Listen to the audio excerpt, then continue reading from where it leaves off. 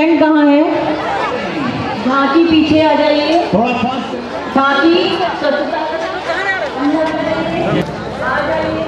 बहनों और भाइयों प्यारे बच्चों आज आवश्यकता है स्वच्छता के माहौल बनाने की। राम मंदिर बनना चाहिए। बनना चाहिए और बने, बनेगा भी। चुनाव से पहले की चुनाव के बाद? कि मुद्दा चुनाव ऐसा है।